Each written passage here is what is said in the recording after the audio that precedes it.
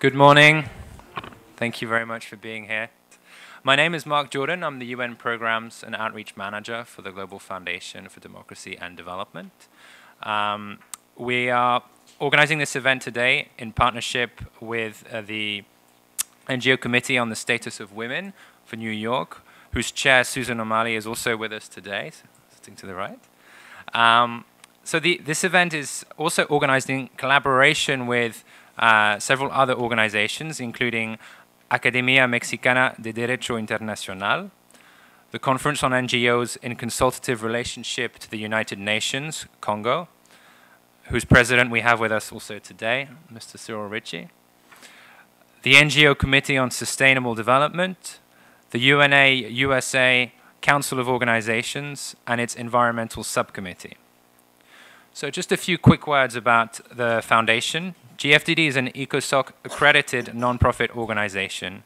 We were set up by former president of the Dominican Republic, Dr. Leonel Fernandez, with the aim to promote the social, democratic, and sustainable development of the Dominican Republic. Today's side event is taking place within the ambit of the 60th session of the Commission on the Status of Women, whose priority theme is women's empowerment and its link to sustainable development. The review theme is the elimination and prevention of all forms of violence against women and girls. As a background to this event, uh, just a little bit more information.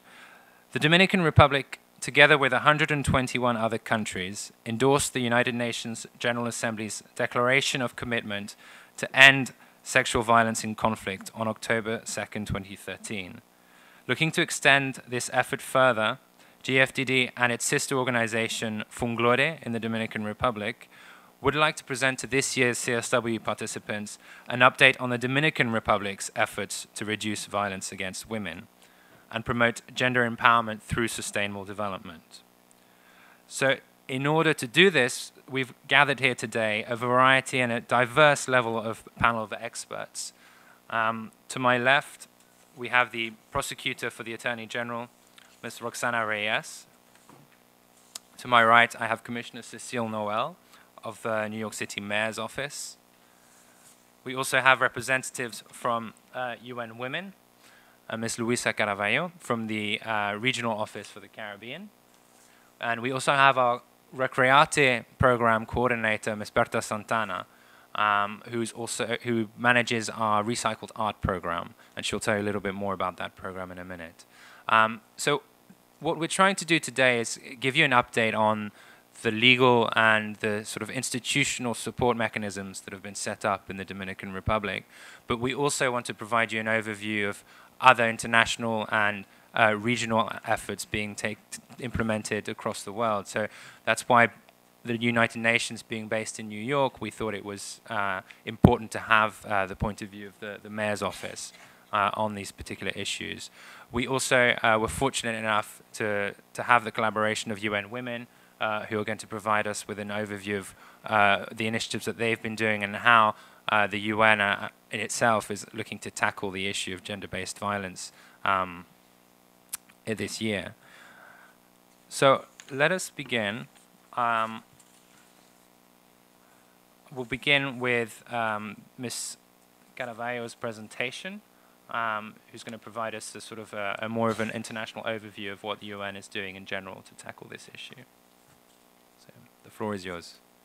Very much, Mark. Thank you, and, and good morning to all. I would like to salute the colleagues from the panel. It's a pleasure to be here. I am representing La, uh, our regional, uh, sorry, our executive director. I'm myself the regional director for Latin America and the Caribbean, and it's been a pleasure to work in the region where so many things are working very well, uh, but also where so many challenges are still there to be faced, to be responded to. And this is what I would, Mark, I'm sorry to disappoint you, but I'm going to focus very much in Latin America. In terms of the programs, yes, I will present maybe the three major programs that UN Women has, but in terms of context, I think I will share on Latin America.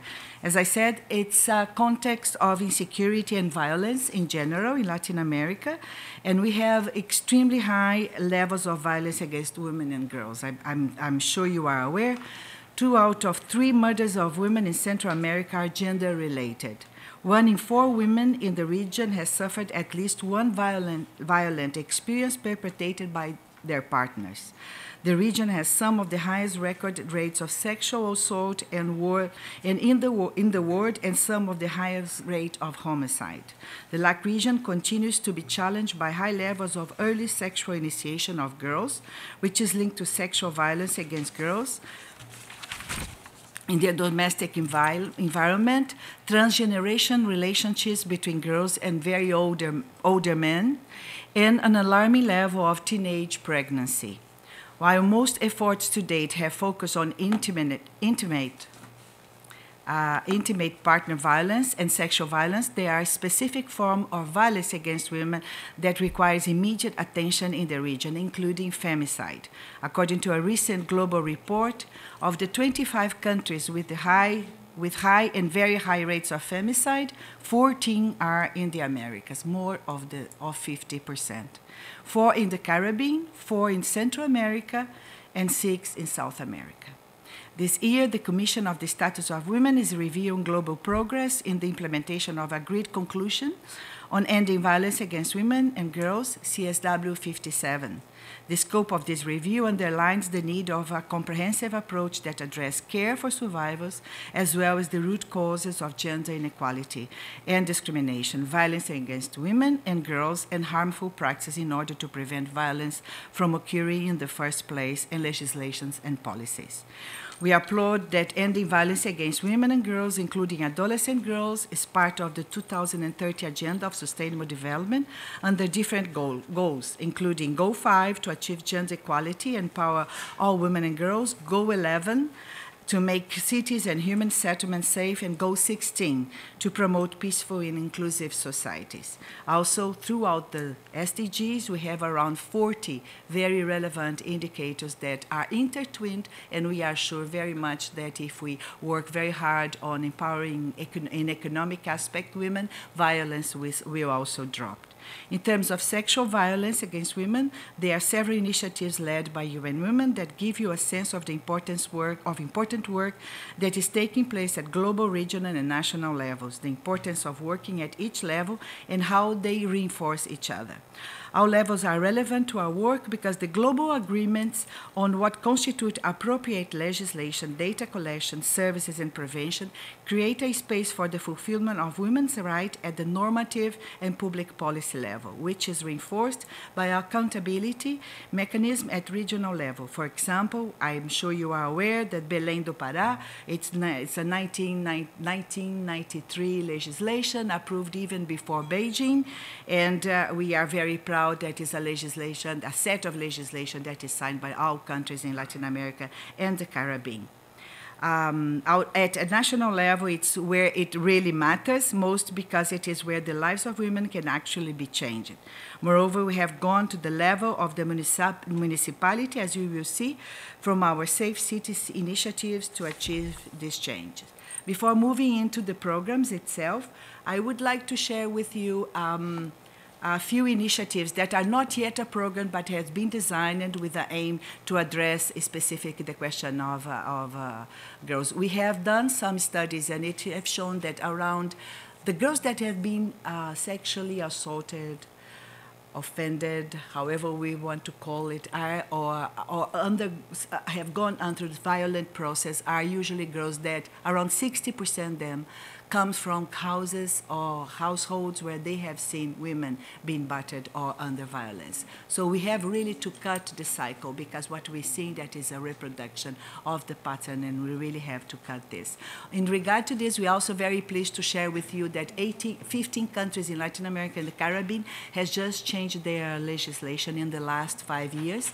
Uh, so they do have a specific law for dealing with feminicide, but also specific measures in their legislation. If the feminicide is not a figure itself, a legal established in the laws, they have also adjusted legislation to, uh, to aggravate the homicide. So those are changes that happened in the last five years. We're also dealing very, uh, working very intensively with uh, Costa Rica and with the, in terms of uh, understanding the response of Costa Rica in terms of of the feminicide because Costa Rica has a crossed uh, line. If you look at how the, uh, how the country started sentencing the, all the cases, at, at, some point, four years ago, they decided we are going to and analyze all cases in less than 11 months.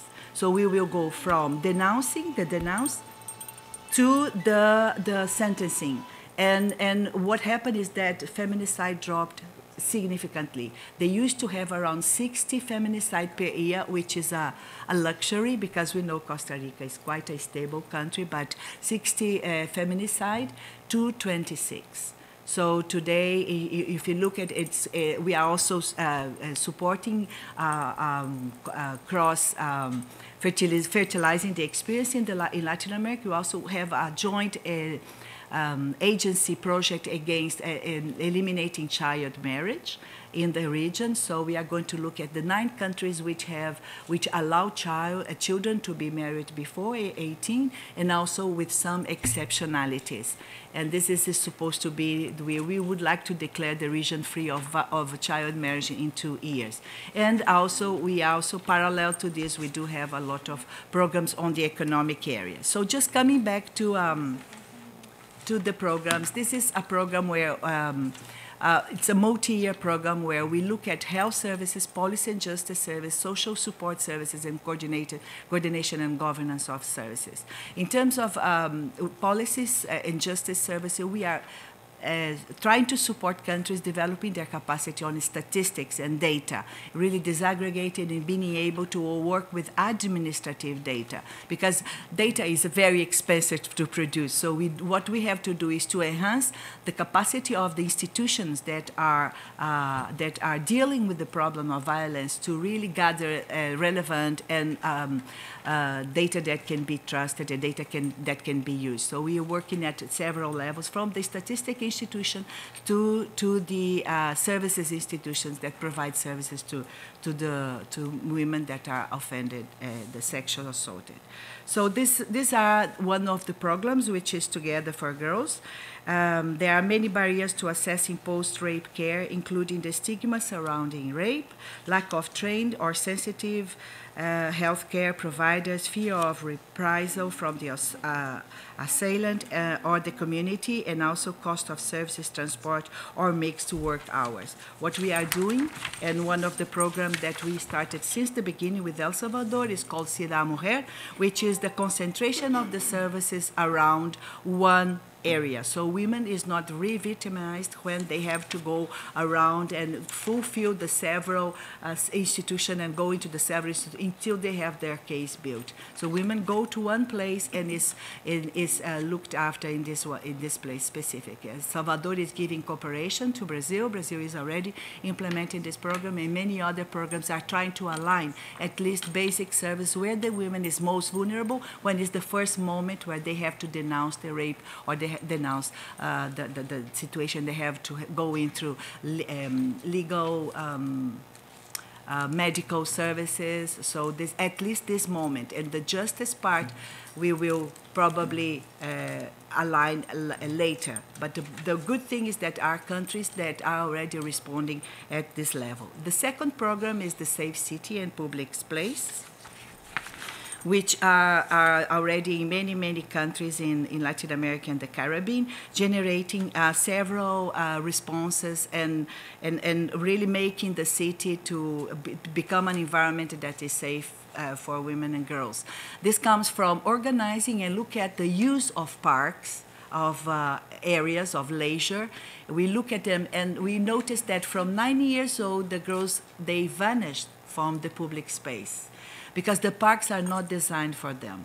So what we're trying to do in Chile and other cities is to organize the park in a way they can they can be uh, welcoming to girls and they can they can feel the space. So using more uh, spaces of sports that are usually used for girls. We are also developing a project in Brazil, and we look at the girls, and they leave uh, sports around 10 years old when their when they, period come, when they, they have their period. So because there's all this uh, um, um, tradition that they need to be protected, and this is with the best intention from families to, to teachers. But what happened is that they return to sports when they are uh, more secure, around 14 years old, 15, and they have a gap in performance. So the boys carry on in sports and they have this. So what we are trying to look is really reinvent the environment of a school so the girls is supported to, to remain in the sports throughout their, the, the initiation of a mature life, of adult life.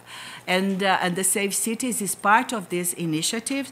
And we, we have also we have been also developing some APPs.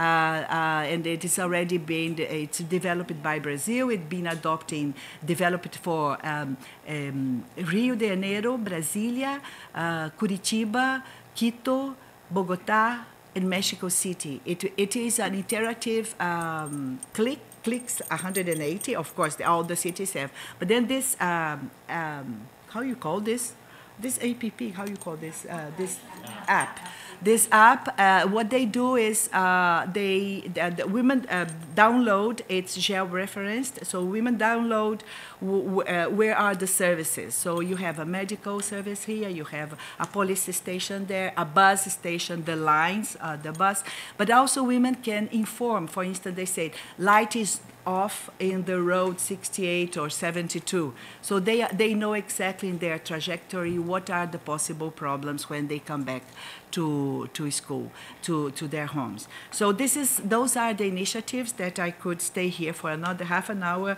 uh, uh, sharing with you things because most of it um, also is coming from the excellent ideas of the civil society and we are working also in partnership with them. But the, the, the question with, uh, with violence in Latin America is really the, the, the, the, the possibility of, of, uh, of uh, going into the root causes of the of the uh, patriarchal society that we still uh, lingering and, and holding for longer than we expected, and and uh, and we know that we're very aware of the complexity of addressing the the, the issue of violence against women. Uh, also, we do have to mobilize a lot of a political will, but most of all, we know that it's in prevention that we have to focus, and because of the of the important different uh, cultural patterns that we have.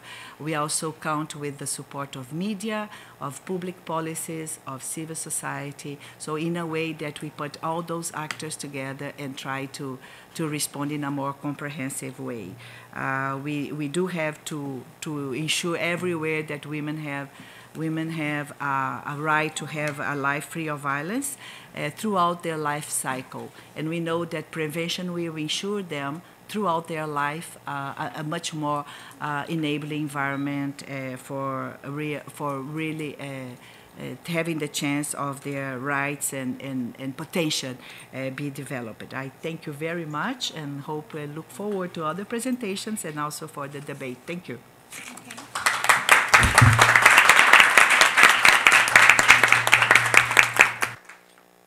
thank you very much, Luisa. So our next speaker uh, is going to take a, a, focus on the issues of the Dominican Republic. Uh, this is Ms. Roxana Reyes, the Deputy Attorney General for Women's Affairs in the Dominican Republic. Uh, Ms. Reyes is an expert who specializes in gender equality issues, and she'll provide information on the progress made up until now in providing legal redress and continuous support to victims of violence, in addition to guidance and reinsertion efforts addressed to former perpetrators of violent crimes.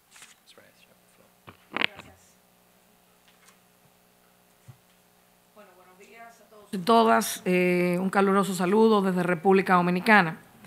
Eh, Sorry, we do have translation as well. If you wanted to listen in, we have some, some audio pieces, a translation into English. Buena idea, sí. bueno, esto pasa en los programas en vivo, no hay problema.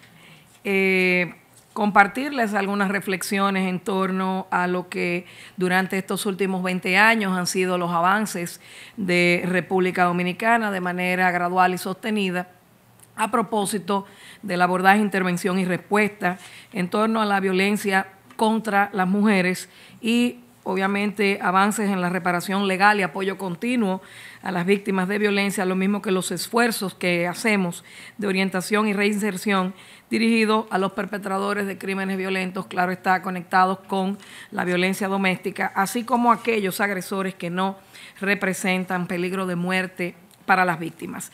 Lo primero que suelo decir es que la gente quiere respuestas fáciles para un problema muy complicado como el de la violencia contra las mujeres y usualmente quiere la solución desde este problema desde el sistema de justicia penal, donde está el Ministerio Público, el Poder Judicial, el sistema forense, la Policía Nacional, olvidando que los, las mujeres y los hombres llegan a convertirse en nuestra sociedad en agresores o en víctimas.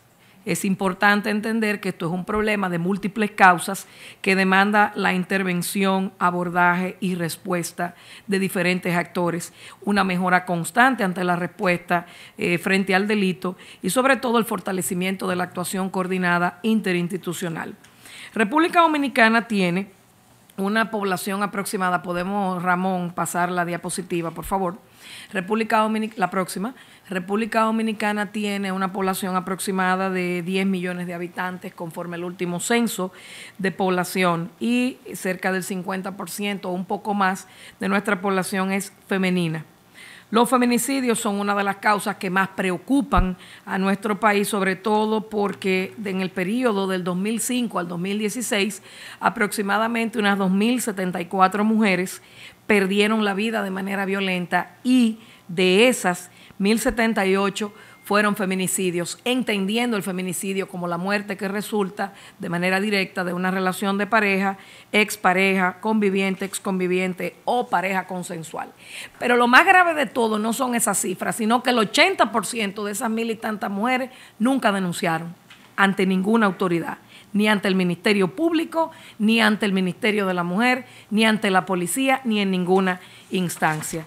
Y esto sucede porque ellas no se reconocen como víctimas, no identifican las señales de peligro, normalizan el maltrato, se culpan de la violencia que viven, justifican al agresor, carecen de información, no saben qué hacer, dónde ir, ni tienen tampoco una red de apoyo fuerte en su familia o, cercanos que les ayude o les acompañe a salirse de la violencia. Cifras importantes, próxima por favor. Vemos aquí que 189 mujeres en promedio pierden la vida de manera violenta cada año. Solamente entre enero y diciembre del 2015 recibimos en nuestras unidades de atención integral a la violencia de género distribuidas por todo el territorio en República Dominicana 8.634 casos de violencia de género, 58.553 de violencia intrafamiliar o doméstica y 6.741 de los delitos sexuales. En República Dominicana, nuestra constitución, en su artículo 42, es de las pocas en América Latina en reconocer la obligatoriedad del Estado dominicano de darle respuesta mediante la adopción de ley a la violencia de género y a la violencia intrafamiliar en cualquiera de sus manifestaciones, y así está claramente establecido en el año 1997, producto de la Convención Belén do Pará y otras legislaciones y un trabajo de los grupos de apoyo de los derechos de las mujeres y autoridades políticas de nuestro país, tuvimos como resultado la Ley 24, que modificó nuestro Código Penal, estableciendo y tipificando por primera vez en nuestra legislación la violencia de género, la violencia doméstica e intrafamiliar, así como sus sanciones. De igual modo, hemos ido desarrollando durante este tiempo protocolos de actuación tanto para la atención como para la respuesta eficaz ante el crimen de feminicidio. Igualmente, desde el Ministerio Público, mediante instrucciones, pautas mínimas de actuación, circulares y otros, hemos procurado instruir continuamente al Ministerio Público de mejorar la respuesta y no victimizar a las mujeres para enfrentar este problema. De igual modo, para que tengan una idea, está eh, instruido en el Ministerio Público, establecido que en el caso de embarazo en adolescentes, por ejemplo, sean sometidos a la justicia los adultos perpetradores, lo mismo que los padres de las víctimas, siempre y cuando hayamos establecido una complicidad con el delito. Y ya por estos casos hemos tenido bastantes sentencias condenatorias eh, tanto con los padres que han sido cómplices del embarazo eh, de sus hijas como de los adultos perpetradores. Próxima, por favor.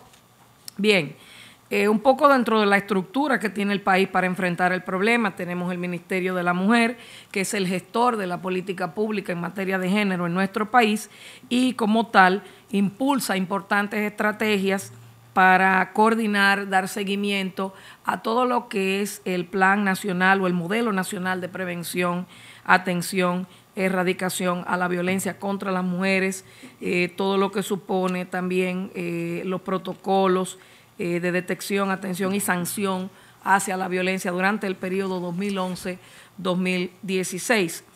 También tenemos la Comisión Nacional de Prevención y Lucha contra la Violencia, establecida por decreto en el 1998, presidida por la ministra de la Mujer y eh, instituida para garantizar la fiscalización de todos y cada uno de los actores que intervienen en el tratamiento, el abordaje, la respuesta de la violencia doméstica en República Dominicana.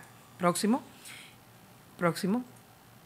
Gracias. Eh, aquí tenemos un poco lo que es la estructura del Ministerio Público para la atención, seguimiento, persecución penal de los casos de violencia.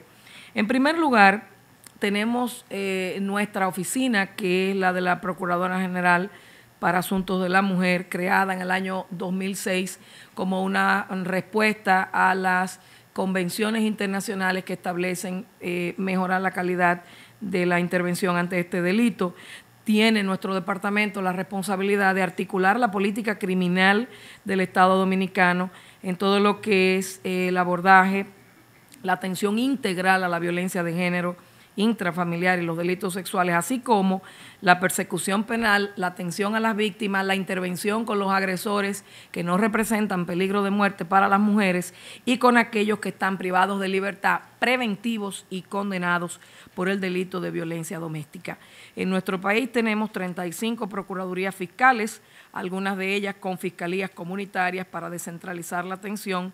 Tal es el caso del Distrito Nacional, que tiene 17 fiscalías comunitarias, y la provincia de Santo Domingo. Ya luego veremos en cuáles provincias de nuestro país tenemos estas unidades que son fiscalías especializadas, donde se ofrece una atención integral, no solo con personal legal como fiscales o abogados, sino también defensores de las víctimas, eh, trabajadores sociales, médicos forenses, psicólogos forenses, policías especializados y personal administrativo. Próximo. Tenemos la Dirección Nacional de Atención a Víctimas que de manera gratuita ofrece asistencia psicológica a las víctimas de todo tipo de delito mientras dura su proceso legal. Está también la Dirección de Representación Legal de Víctimas y Testigos que de manera gratuita acompaña a las víctimas eh, legalmente sin ningún costo, como he señalado, durante el proceso legal. Está el Centro de Mujeres Sobrevivientes de Violencia Doméstica, que es responsable de la asistencia psicoterapéutica de las víctimas dentro de la ruta crítica de la violencia doméstica. Tenemos el Centro de Intervención Conductual para Hombres, que trabaja con aquellos agresores que no representan peligro de muerte para las mujeres, con el desmonte de los micromachismos, conductas violentas, manejo de la ira, control de los impulsos y un trabajo sobre la nueva masculinidad con un equipo cualificado de profesionales de la conducta. Tenemos dos centros actualmente, uno en el Distrito Nacional, otro en la región sur del país y estamos trabajando para la expansión a nivel regional de esta modalidad. Eh, tenemos la línea de auxilio, línea vida, que funciona en el Distrito Nacional, pero recibe llamadas de todo el territorio como respuesta rápida el sistema de emergencias 911, que en su primer año de operación solamente en el Distrito Nacional y en la provincia de Santo Domingo atendió 20 mil casos de emergencias vinculadas a la violencia doméstica, cuyas víctimas y, dependientes fueron puestos a salvo.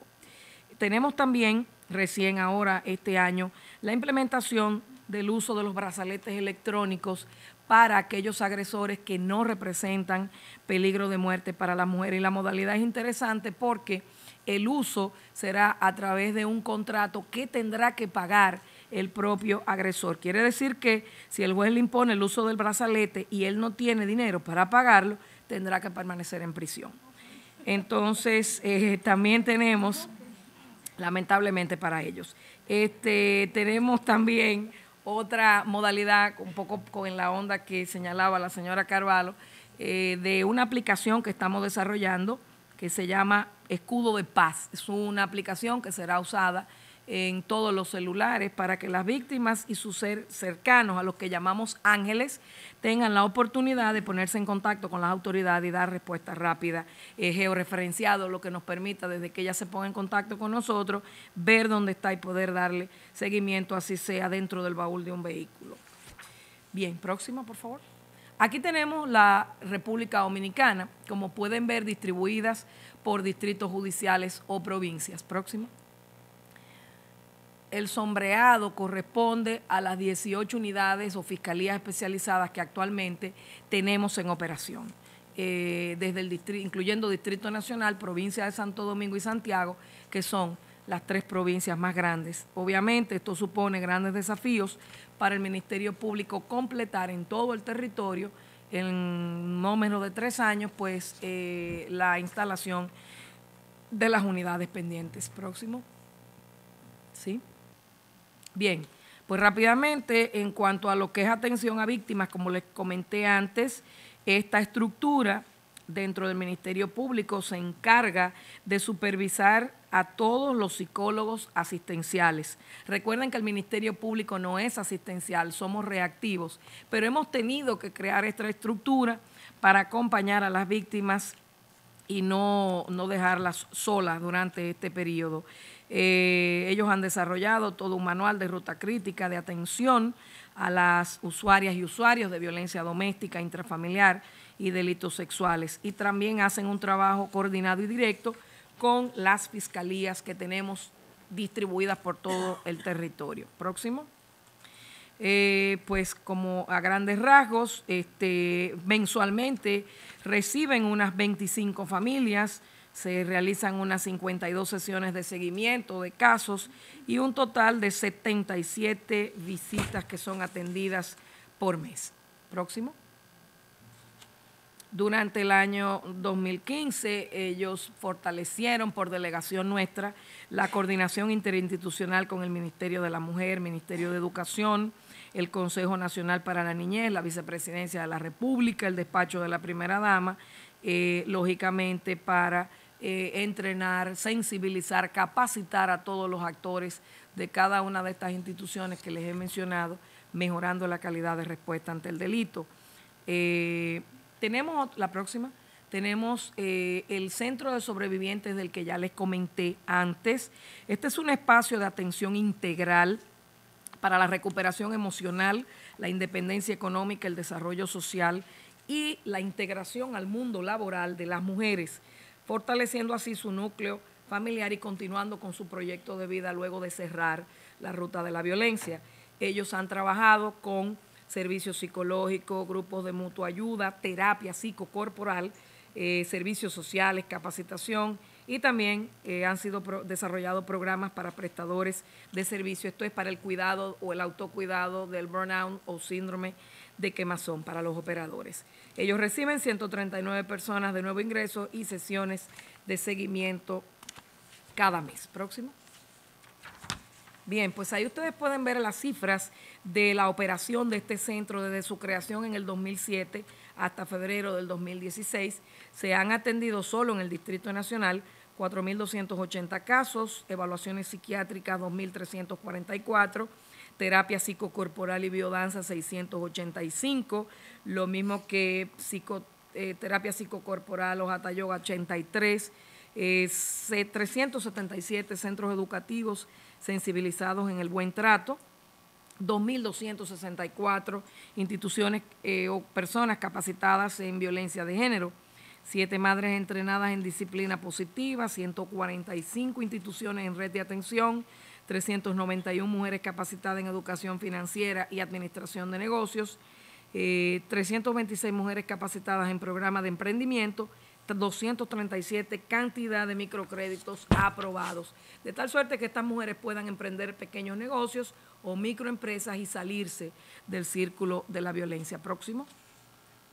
Les hablé antes de la representación legal a las víctimas, pues en su em, último año de operación han conseguido condenas en contra de imputados que han cometido feminicidios o delitos conexos por 30, 20 y 15 años, tanto de incesto, feminicidios y otros delitos de violencia contra la mujer, niñas y adolescentes, con indemnizaciones, y esto es lo que tiene que ver con la justicia reparadora o restaurativa, indemnizaciones que va desde el millón de pesos hasta los 5, 10, 15, 20 millones de pesos, cada vez que los tribunales condenan a los agresores. Próximo.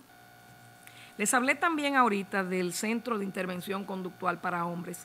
Nos sirvió como referente el modelo argentino, pero no tomamos del modelo argentino eh, para implementarlo en nuestro país lo mismo que ellos, sino que ni lo adaptamos tampoco.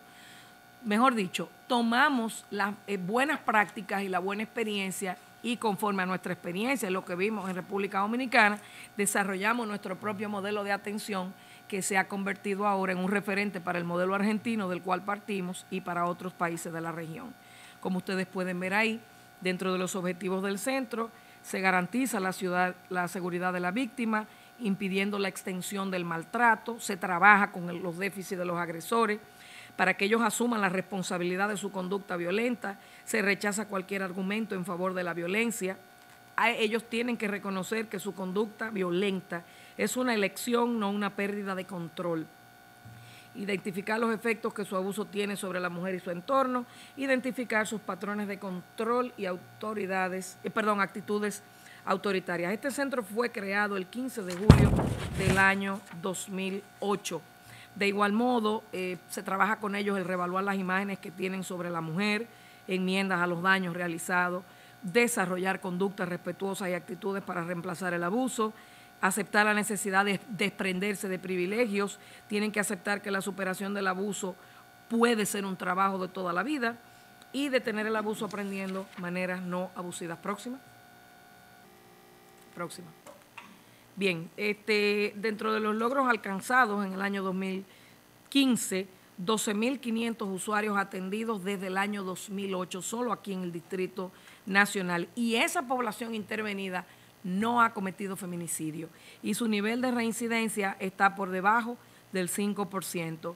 Este es un programa, como ustedes ven, novedoso, conceptualmente integrador y respetuoso de nuestra realidad cultural. Este centro es pionero en investigaciones realizadas y especializadas en República Dominicana con el tema de los hombres agresores, lo cual es también un referente internacional para los países de la región. Para ir concluyendo, vamos a ver próximo los programas de intervención con los privados de libertad por los casos de violencia de género intrafamiliar y los delitos sexuales. Estos son los esfuerzos de reinserción dirigidos eh, a los perpetradores de crímenes violentos, en este caso contra las mujeres.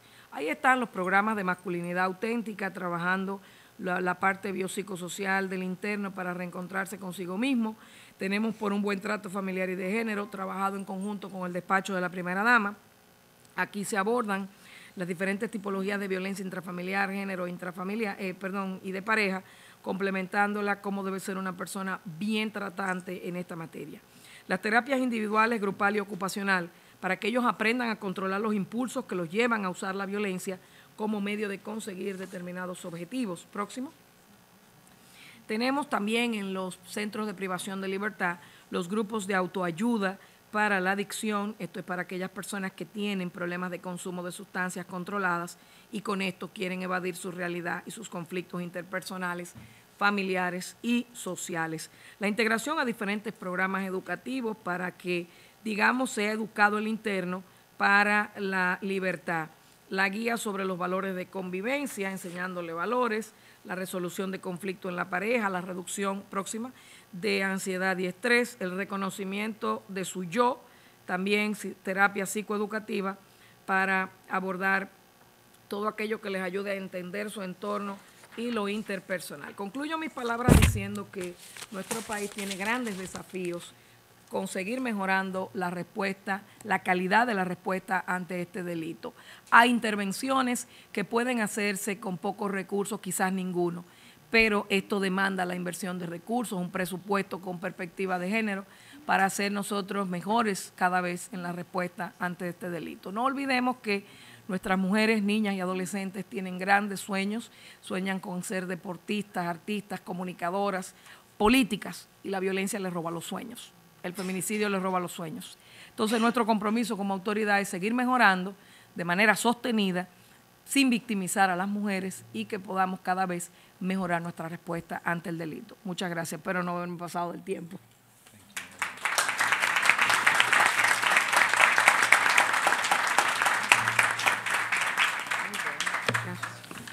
Gracias. Uh, thank you very much uh, to you both for your for your interventions. Um, I think it was very informative, particularly for gaining the sort of the the regional um, overview of efforts by UN Women, but also to promote you know gender empowerment at the regional level within the Caribbean. And then we had the focus that uh, Ms. Reyes provided on the, the institutional and uh, legislative advancements by the Dominican Republic to tackle this, this difficult issue. Um, and I think there's uh, some very inspiring measures that have been put forward, working both with the perpetrators of crimes but also the victims of violence. And I think that's, uh, that's extremely commendable. Um, so congratulations both on all the, the, the work that you've done. Um, now I think we're going to, to switch over to, to, to New York um, to, to find out what uh, the mayor's office has been doing uh, to combat the issue of domestic violence. Uh, to, to introduce Commissioner Noel, uh, the, the chair of the NGO Committee on the Status of Women, Ms. Susan O'Malley, who's with us today, is going to provide a, a brief uh, introduction of her. So over to you.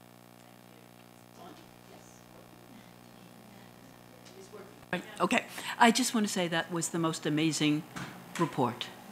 Um, when I first talked to Mark in the fall, he talked about you and your report, and he said how extraordinary it was.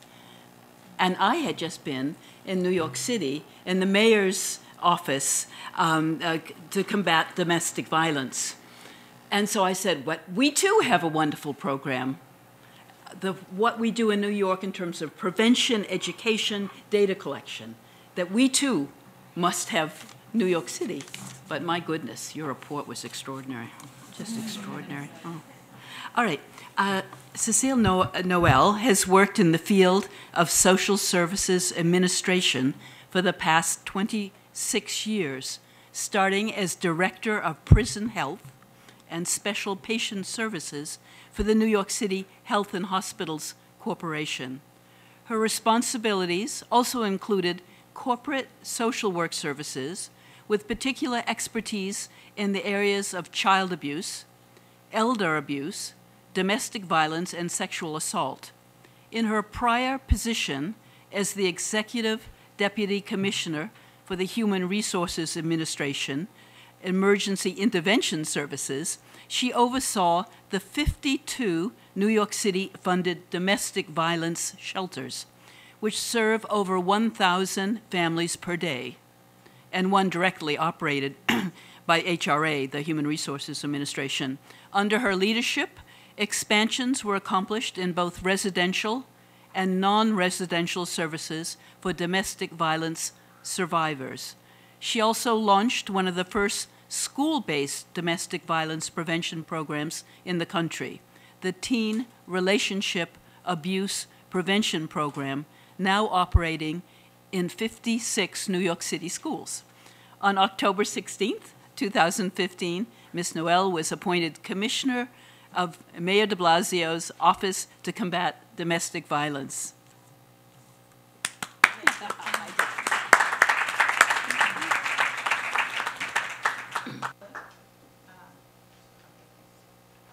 Morning. Uh, good morning, everyone. It certainly is a pleasure to be here uh, this morning for this very important conference. I'd like to thank my colleagues on the panel for a terrific presentation.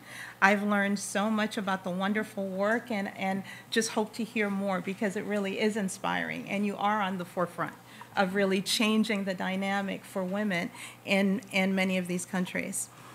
Um, I am Commissioner uh, for the New York City Office to Combat Domestic Violence, also known as the Mayor's Office to Combat Domestic Violence.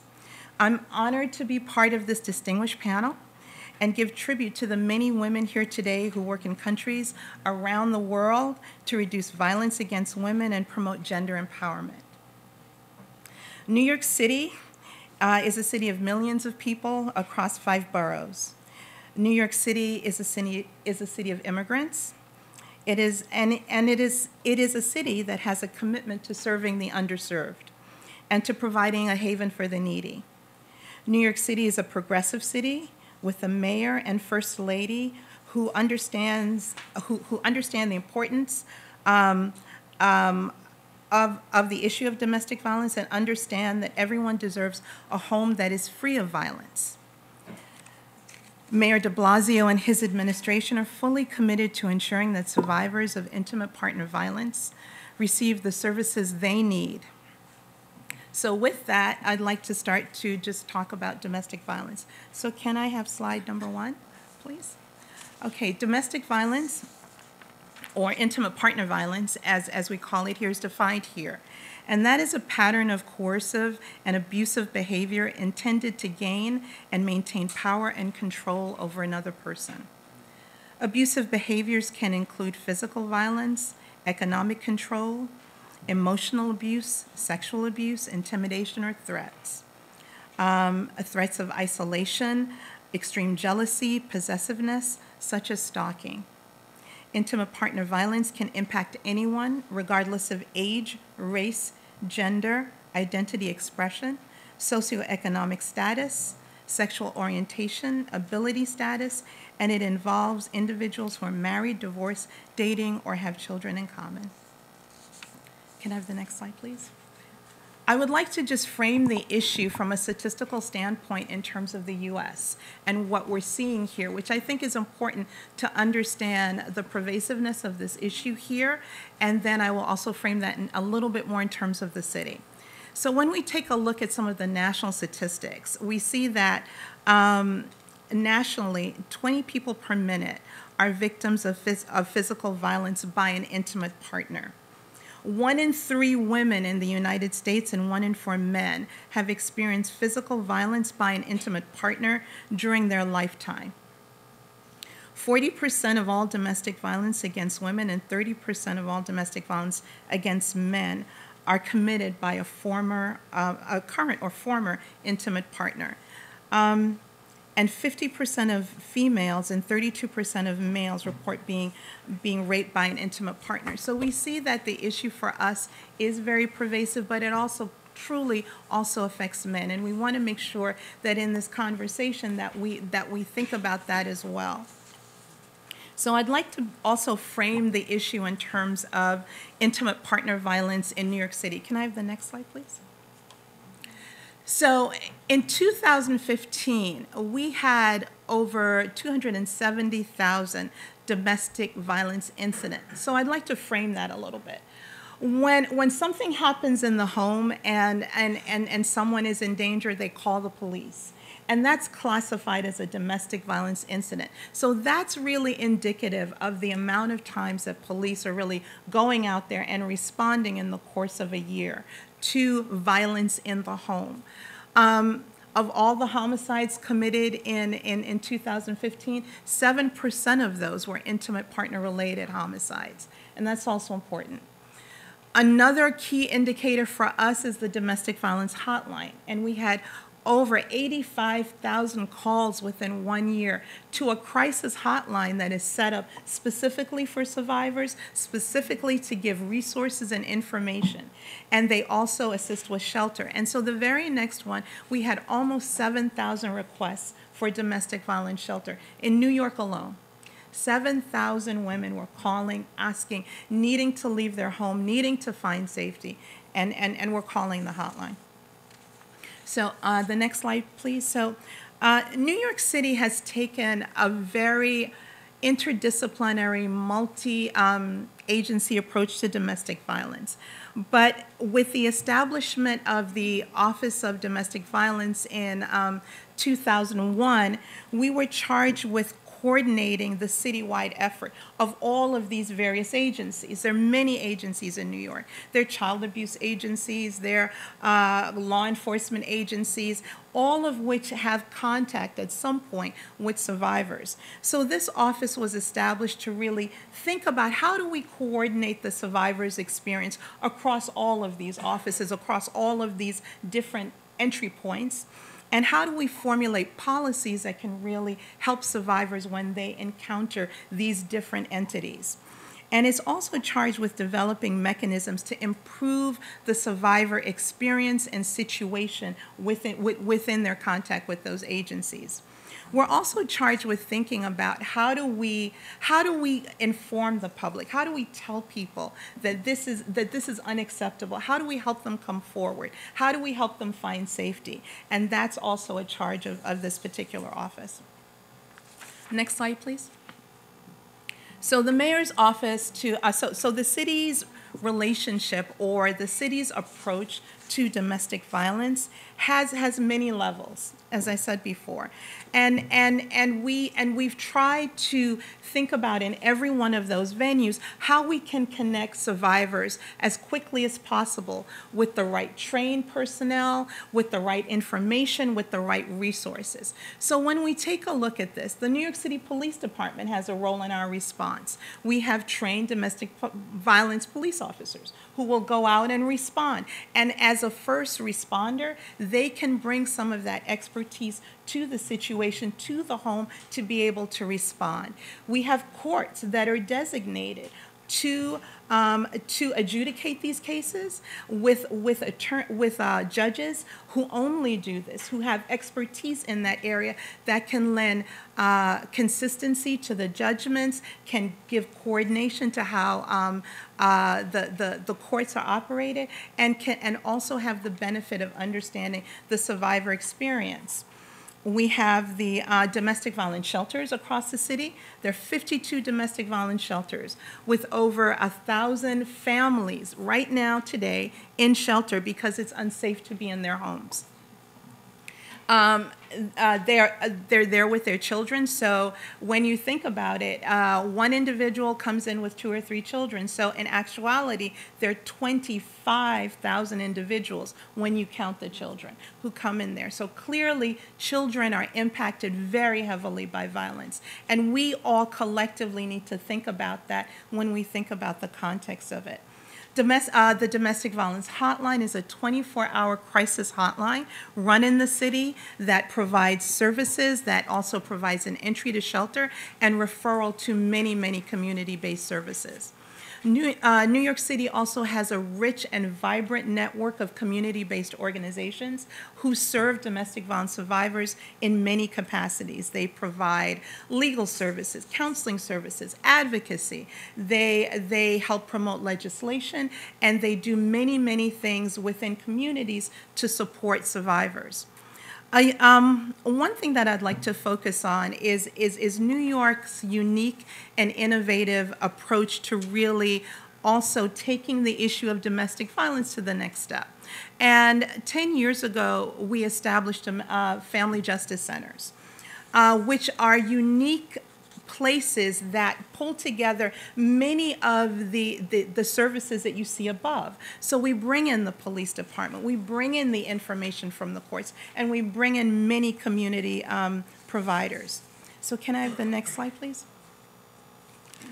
The Family Justice Centers are, are walk in centers where on site community based organizations provide free and confidential services regardless of the client's language, income, immigration status, gender, sexual identity, or sexual orientation.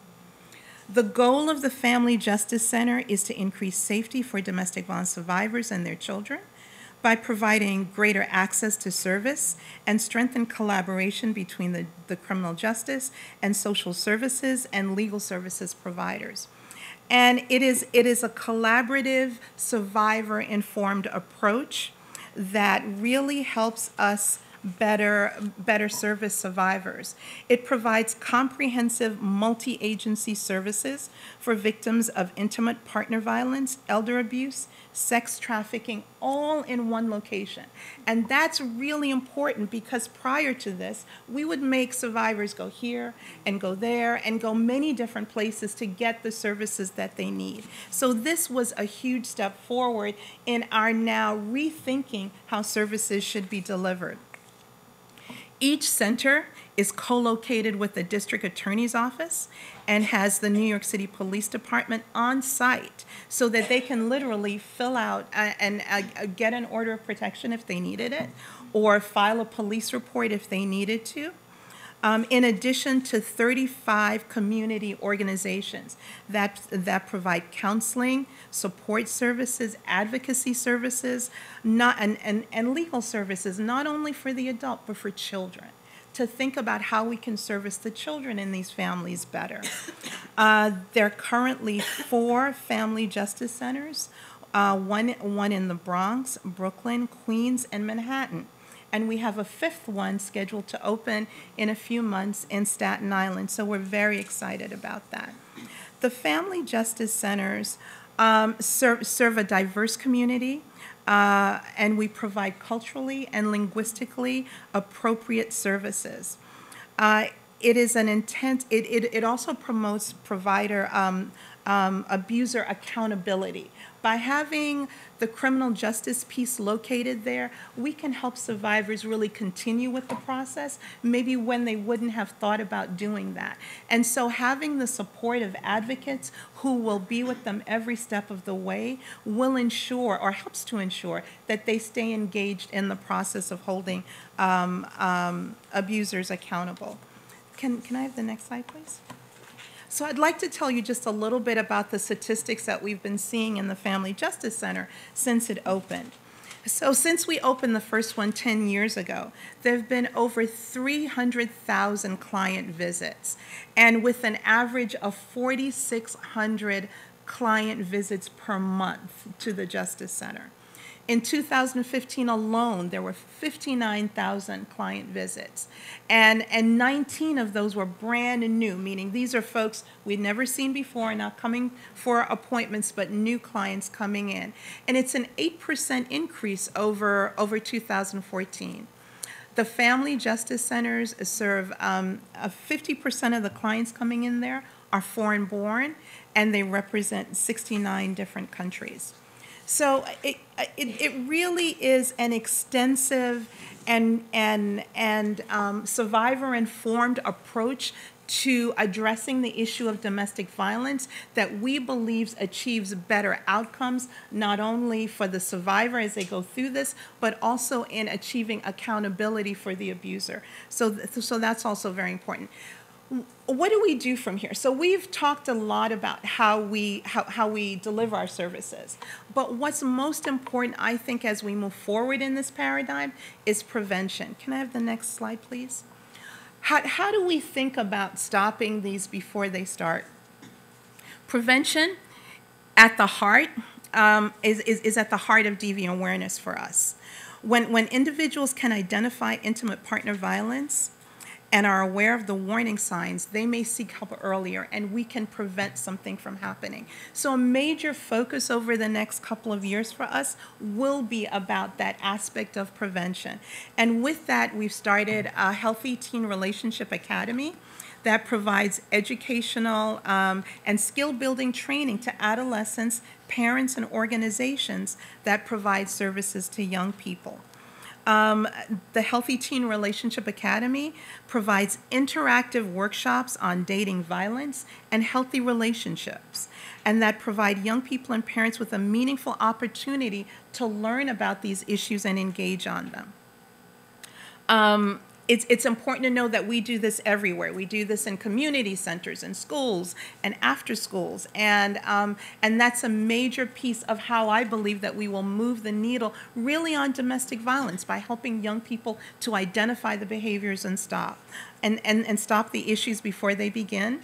We are also engaging in citywide training uh, with other agencies and community partners around how to better identify domestic violence and intervene in these areas where we need to around good safety planning for, for families. And finally, we are embarking on a big public awareness campaign that, that will really be targeted at some of our underserved populations, elderly, LGBTQ youth, immigrant and religious uh, communities uh, overall to really help begin to think about how we stop the, the, the, violence overall and, and just move the city to the point where we are really thinking about ending domestic violence. So thank you all and thank you to the Global Foundation for this.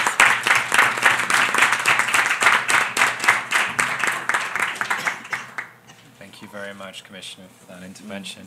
Um, I think that was very, very, very informative and, and very inspiring to see the, the great work that you're doing, um, and especially the the innovative centres that you've created. And the, when when is when is the, uh, the Staten Island Centre meant to open? Next month. Oh, great! Next month. Great! So Congratulations! Congratulations! Um, so we're going to continue um, we're going to continue focusing on, on, on regional efforts um, to promote uh, gender equality. And, and here we're going to talk about one of our own programs. And um, this is the Recreate program. So at the local level, um, we're going to have Berta Santana, our, our, coordinator for the program, who's going to present the, the results of the program. It's going to be a, a, a brief presentation that looks over the, the figures, um, sort of the, the amount of workshops that we've provided to women across the country, uh, how and how the program helps them to develop new skills, discover their creative talents, grow their self-esteem, and create their own small businesses while learning about sustainability. Uh, so it's a, it's a very um, it's a very inspiring initiative that we're very proud of, um, and it's and it's grown exponentially with the help of Berta. Um, so I'm going to hand over the floor to her so she can tell you a lot more about it. And she's, she's very knowledgeable about her issues. And um, Berta has brought with her some, some items as well that she'll be, she'll be distributing during her presentation. Uh, and we'll be following uh, her presentation up with a, a, short screening of one of the uh, the workshops that she's had, and it'll give you a bit of an illustration of, of the work that she's done. So over to you, Berta. Yes. Bueno, como decía Mark, Berta Santana de República Dominicana, programas Recrearte y, les traigo un caluroso saludo de las más de 5.000 mujeres que han participado en nuestro programa. Eh, nuestro programa Recrearte de GIF Didi Funglode fue creado dentro del marco de la muestra de cine medioambiental dominicana, esta muestra que se, se ha celebrado por más de cuatro años en República Dominicana. Entonces, este, la persona que llegan se le da asistencia de manera gratuita para llevar nuestro programa. estos programas se llevan a, comunidades, eh, a diferentes comunidades de nuestro país, a barrios. Eh, los llevamos también a juntas de vecinos, a iglesias, entidades públicas y privadas, escuelas públicas y privadas, y si donde se reúne un grupo de mujeres y hombres, niños que quieran participar de nuestros talleres, que quieran empoderarse a través del reciclaje creativo y hacer algo con sus desechos. Allí nosotros vamos. Entonces, ahí le hablamos sobre las 3R. Este programa está diseñado con una parte teórica y otra parte práctica y esa parte, la parte teórica eh, más bien no es solamente cómo transformar eh, ese desecho, sino que han surgido tantas conversaciones que nos hemos dado cuenta en esos talleres, cómo se transforma la mujer dominicana a través de estos talleres. Bueno, eh, ¿puede pasarlo primero, Ramón, por favor? Bueno, lo que, el material que utilizamos, fundas plásticas eh, de diferentes colores, no importa de dónde. Tenemos papel, tenemos también todo textil que de los talleres de, costura, también de lo, tenemos madera, bueno, pesaba para traerlo en el, en el avión, pero esto de botella plástica, por ejemplo, cómo, transforman eso, metal también, que teníamos, no podemos traer cosas, muchos metales aquí. y por supuesto eh, recolectando y recuperando eh, semillas eh, que están ahí, que no van a ser necesitadas para, para, plantar un árbol y, y, ya la gente va pisándola en la calle, entonces pues vamos también recuperando esas semillas. Sí, hemos estado en más de 98 localidades, porque en ese momento solamente ahí teníamos, incluso aquí ya hemos dado más de tres talleres, o sea que pudiéramos también ponerlo aquí. Entonces, 267 talleres. También vamos a agregarle algunos más, porque eh, desde el momento que hice la presentación hasta ahora, pues ya más de cinco talleres más de 6.102 personas, o sea, incluyendo niños, jóvenes, adultos mayores y sobre todo eh, grupos de mujeres, más asisten mujeres. Los hombres que asisten dicen, ok, por favor, pero que no me pongan ahí y que yo no salga en la foto, por favor, es lo único. pero ellos van, sí, a acompañar a sus mujeres y la dejan afuera.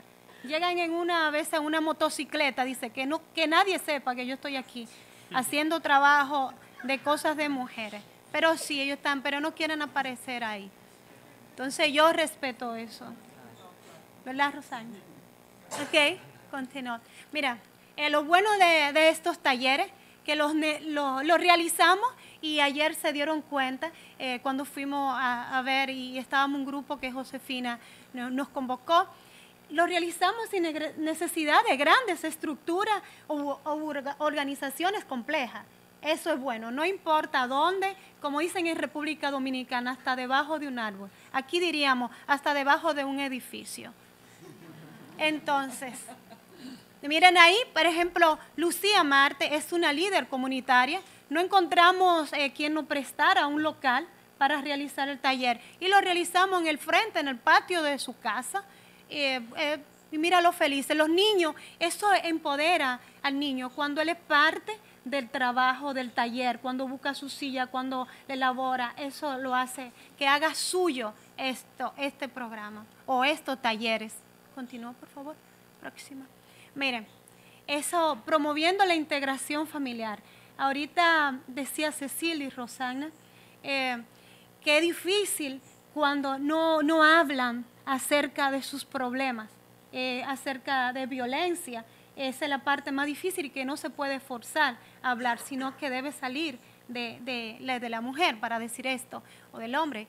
Entonces, estos programas favorecen porque cuando nosotros estamos ahí, a él estar, la madre que muchas veces no puede dejar su, su hija en la casa, entonces me dicen, ¿y ahora que no ven? Ven tú, tu abuela, tu mamá, tu bisabuela, toda la familia que quiera. Y entonces eso favorece. Cuando están ahí, eh, comienzan a hablar de algunas cosas que no se hablan en la casa, pero el espacio le brinda la intimidad para esta mujer, pues, hablar acerca de esto. Tenemos, mira, inclusivo, bueno, para personas con, con necesidades especiales. Esos chicos se están divirtiendo ahí, creando masilla con residuo de, sí, muy, nos estamos divirtiendo. Yo creo que ya está, yo más que ellos. Eh, ellos estamos ahí haciendo masilla eh, con residuos de madera que salen de, los talleres y con cola y masilla. El hecho de ellos tocar, formar cosas, eh, hacer formas, triángulos, círculos, esto ayuda para, para su desarrollo psicomotriz y, y demás. ¿Siga? Bueno reafirmando e, esa parte de los, los, valores, la coquetería y la belleza de la mujer dominicana. Y qué, mejor que hacerlo a través de, de, residuos de talleres que ellas no se imaginaban cómo podían embellecer. Pero esto ayuda de alguna manera a subir su estima, porque eh, ellas pensaban que no podían decorar o mandar a, su hijo a un cumpleaños, que allá nosotros nos decoramos bastante. Entonces muchas veces un niño no, sí lo saben, ¿verdad? Las dominicanas que están aquí. Y eso es lindo, porque ese no somos nosotros y es así. Entonces como, bueno, no voy a... Eh, las flores, eh, que los niños ir a, sus cumpleaños y sus cosas, y la madre puede realizar esos accesorios y, pensar que ellas ni siquiera se imaginaban que tenían al lado de su casa, al frente de su casa, en su propia casa, cómo realizar esto. ¿Sí? Por favor. Bueno, miren esa parte muy importante. Después que este grupo de mujeres ha realizado todo eso con los desechos, por ejemplo, miren ahí a Caridad. Eh, ah, ah, bueno, ahí está la parte de metal, ese collar que Caridad, la vestida de negro, tiene un collar con la tapa de la leche, ¿verdad? Entonces miren ahí, eso parece plata original, ¿no? Entonces miren, esos son los sobres que ella hace. Estos sobres están bien hechos. Esto es con técnica fácil, miren, ahí para, para hacer. Podemos colocar todo.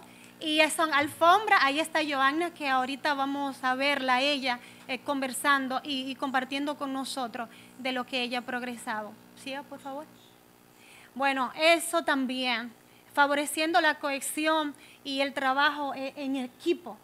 Es la cohesión social, eso es muy importante. La, la comunidad que trabaja unida es la comunidad pues que de alguna manera se fortalece, se empodera. Eh, y propiciando sobre todo eso, porque cuando se unen estas mujeres a trabajar juntas, de alguna manera eh, es, son muy tomadas en cuenta por las autoridades, eh, donde quiera que ellas van, como van unidas, eh, pues son más tomadas en cuenta y sobre todo pueden compartir sus dolores, sus penas en, grupo.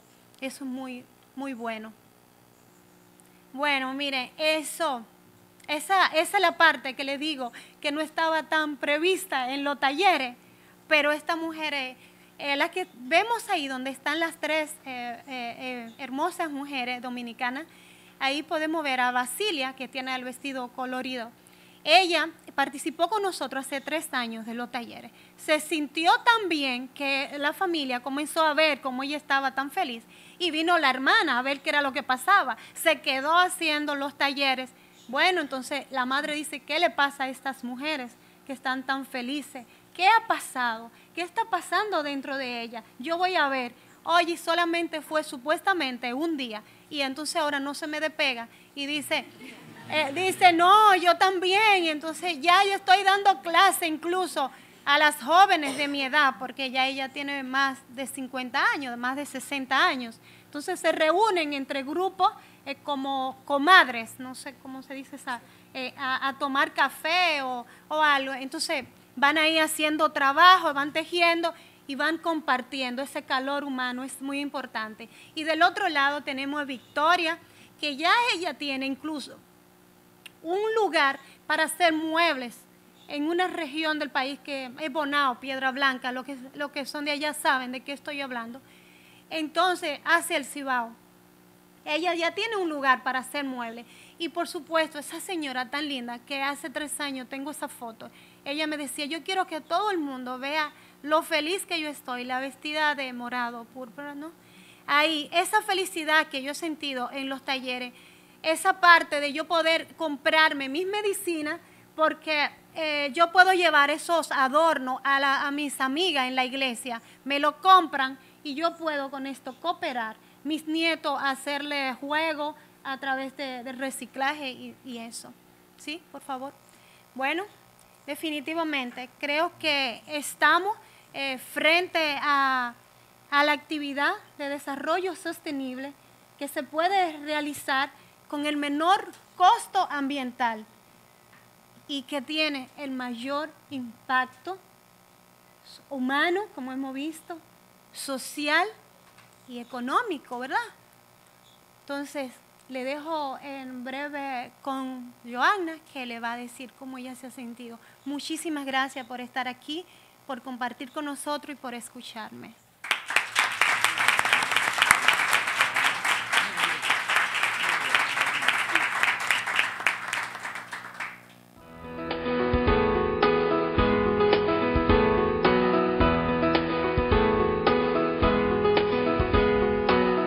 Desde la primera asistencia que yo tuve al primer taller de Recrearte, eso fue como, ¿cómo decirte? Como una bendición.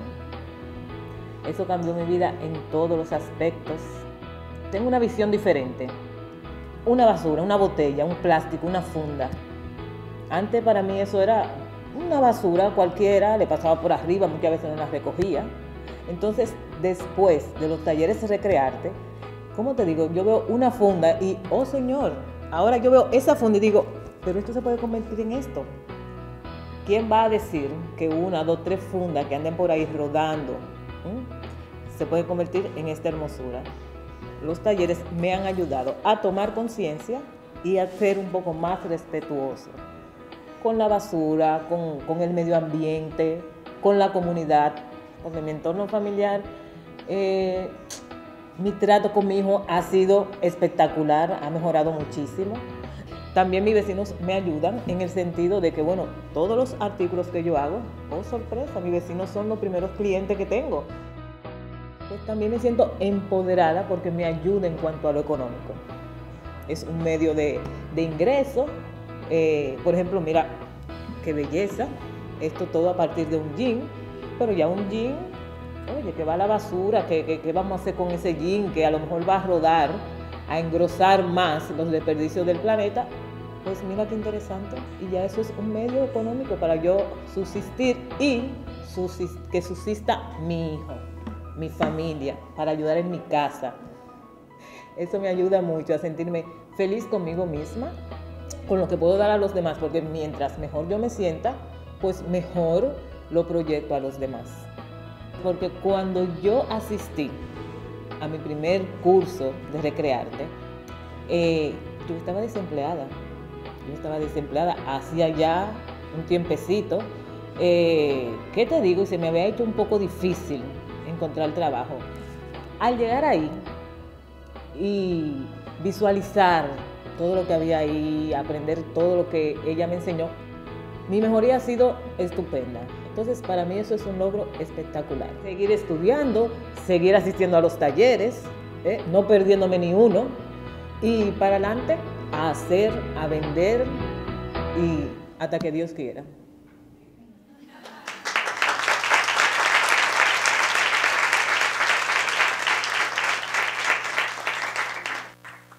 Thank you very much, Berta. Um, so, uh, Berta, you're going to be handing around some of the items as well for people to see.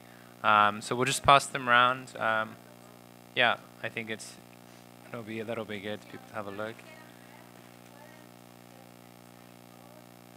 Um, but sí, también.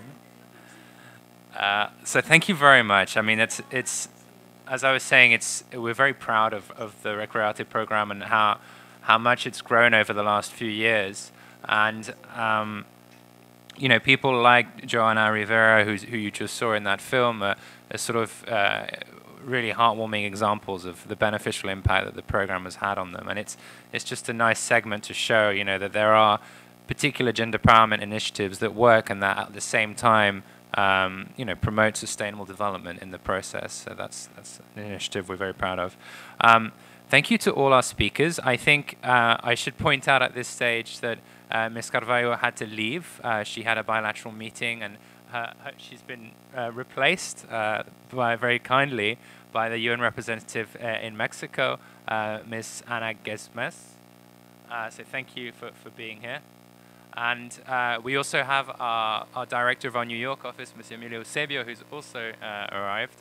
Um, so I think what we'll do is uh, we'll transition now and leave it to you to ask questions to our panelists about uh, the presentations that you've heard, the statements that you've heard, and any comments uh, or particularly questions we would appreciate given the, the time um, that you have either for the foundation or for the panelists. Um, and please feel free, put your hand up if you can, uh, maybe say your name, uh, an organization you're with, um, and, uh, and we'll give you the floor. I, I don't know if we have microphones.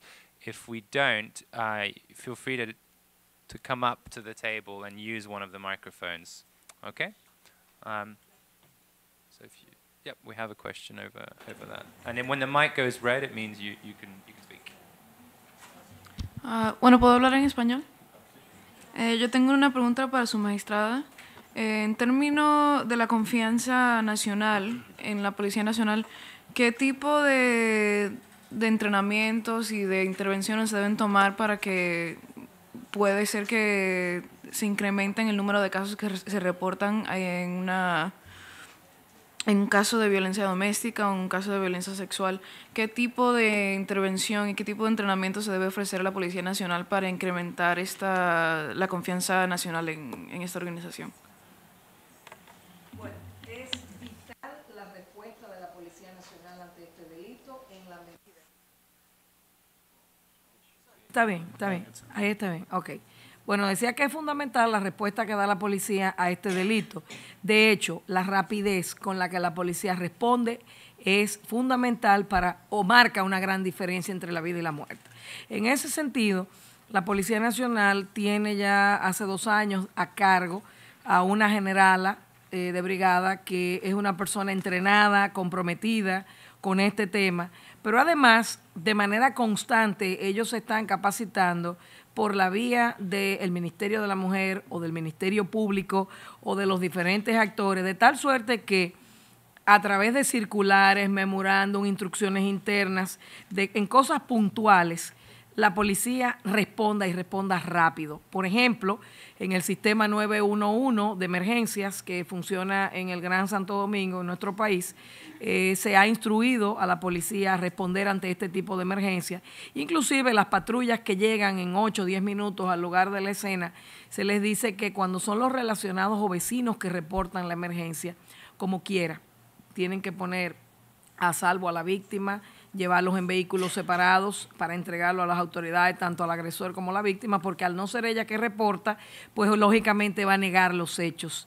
Es decir, la policía en los últimos años ha ido mejorando su respuesta ante este delito sobre la base de una actualización constante, de un entrenamiento constante, porque no son suizos, son dominicanos, con que hay que ir al paso, hay que ir trabajando con ellos, este, pero definitivamente que eh, la respuesta ha ido mejorando gradualmente.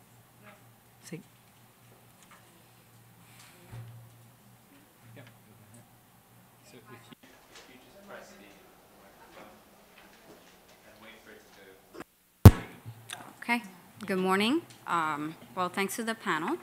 Um, my question is for um, Roxana Reyes. Uh, my name is Karina Ibar, and for the last 10 years, I was part of the Dominican Women's Development Center, and not only serving Dominican women, but uh, Latin American women, even Muslim and Asian women, and as an organizer of the Brides March Against Domestic Violence. So I will turn into Spanish.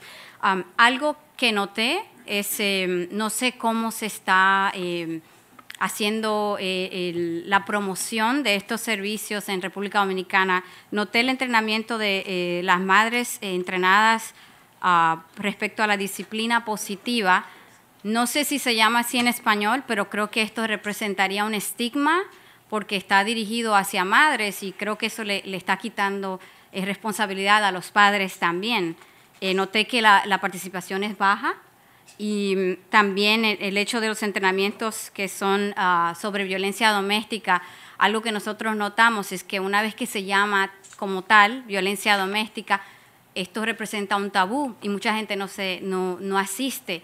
O sea que quería saber si también lo promueven así o sugerir que le llamen eh, em, relaciones saludables y quería saber otra cosa, algo que nosotros enfrentamos, no, no solo con las personas inmigrantes eh, eh, que vienen directamente desde República Dominicana y otros países, también aquí en Nueva York para ir a los centros de justicia familiar o a la policía, es que eh, lo ven como un estigma y sienten temor el ir a un centro que esté dirigido contra la violencia doméstica y por tanto nosotros siempre trabajamos con organizaciones comunitarias y somos una organización comunitaria en un área confidencial, en un edificio en donde no tiene ningún letrero y muchas veces la persona no toma el valor de reportar el caso, sino hasta que viene a nuestros centros comunitarios confidencialmente y, entonces recibe la información de que están estos derechos. O sea, que cómo ustedes están lidiando con eso en República Dominicana.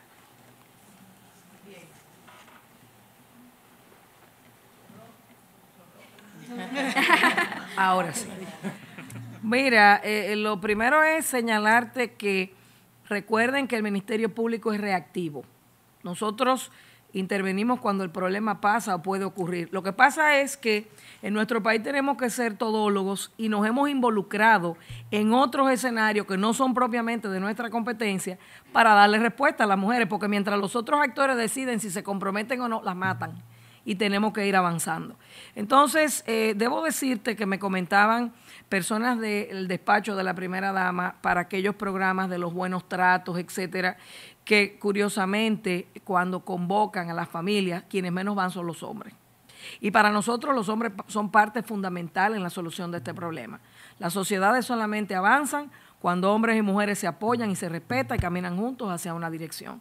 Nosotros con este sistema no podemos venir ahora a desatar una guerra entre hombres y mujeres. Pero debo decirte que estamos trabajando conjuntamente con el Ministerio del Interior y con la Federación Dominicana de Municipios y los gobiernos locales o las alcaldías para la construcción de las redes locales o la ampliación de las redes locales que hay, las mesas de ciudadanía, seguridad y género, de tal suerte que se dé eso que tú señalas, de la comunidad involucrada como un agente importante que se apropia del problema, que no deja a la autoridad sola y que acompaña a la víctima porque el principal problema es que cuando ellas no se reconocen como víctimas, no, identifican las señales de peligro y no buscan ayuda.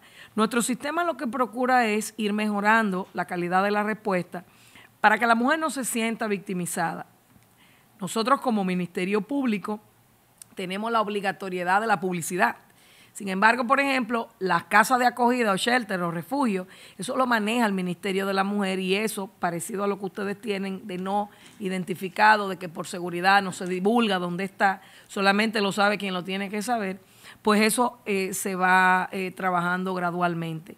Pero esa preocupación que tú señalas es válida, en eso se está trabajando para que cada actor responsable y competente mejore su respuesta.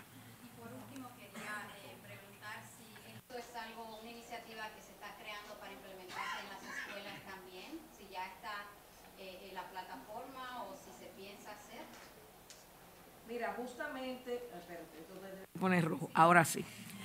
Eh, justamente esto, nosotros firmamos un convenio de actuación coordinada con el Ministerio de Educación, de la Educación Superior, Ciencia y Tecnología, Ministerio de Cultura, Ministerio de la Mujer, Salud Pública, Policía Nacional, para que cada actor que intervenga en la ruta de atención o la ruta crítica de la violencia doméstica, pues asuma el rol que le toca. La escuela es fundamental para cambiar la mentalidad y la cultura patriarcal machista.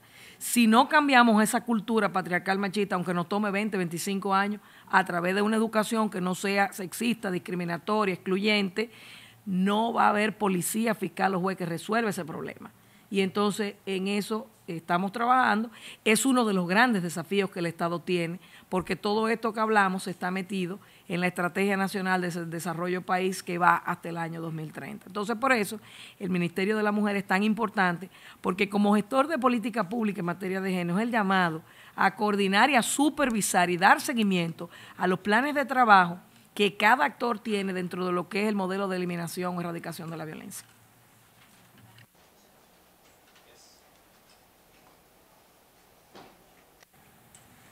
Good morning, and thank you for having me. It's always a pleasure to be at something with Funglode. My name is Dr. Anthony Davidson. I'm the Dean of the Manhattanville School of Business, longtime friend of Funglode, of Dr. Fernandez, visited the Dominican Republic many times. We were very fortunate to receive 38 students from Mesite a couple of years ago to my programs. Um, so my question really is, to anybody who wants to answer it because I think there are certain similar problems um, both in the Dominican Republic and here in New York. Um, I founded at Manhattanville the Women's Leadership Institute uh, for the professional and development and leadership of women. Um, and one of the things that I have seen in general is there's an issue of self esteem, there's an issue of, um, especially in the Dominican Republic, of objectification of women in the workplace. Many professional women I meet there tell me they dress in certain ways specifically to try to downplay that objectification. Um, And I think um, it's equally important to establish programs that not only are kind of preventative in nature, but are empowering. And that is done through education. It's done through changing the focus of male managers, especially male managers of high potential women. Um, and I think this is a very important avenue that can be explored to, to truly empower women. And the, the, the conference today, we, we see reducing violence, which of course it is inarguably the first thing that needs to be done. But the second part is in terms of gender empowerment. And I would love to hear some from the panel, anybody who wants to address it, both either locally or in the Dominican Republic. Um, what initiatives, if any, are being done to really go about gender empowerment through mentorship and education and promoting self-esteem in the workplace?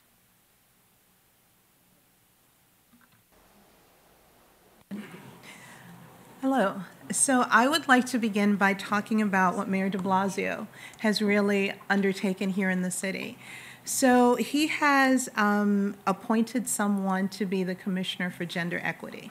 And that person is really tasked with looking at city government and city governmental agencies to see how we need to now look at not only our workforce, our policies, and what we do through the lens of gender equity and informing that to get at the very issues that you've said. What does that workforce look like? How many managers do we have at this level? How are we informing not only our hiring policies, but our promotion policies through the lens of gender equity?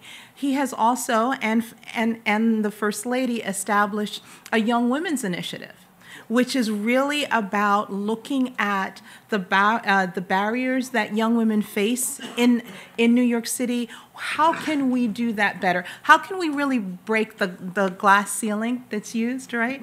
Uh, to really empower girls to take the initiative, to stay engaged, and they are part of the solutions that we are forming. So we think that the administration now is definitely on the cutting edge of moving that paradigm and informing all of what we're doing through the lens of gender equity. So.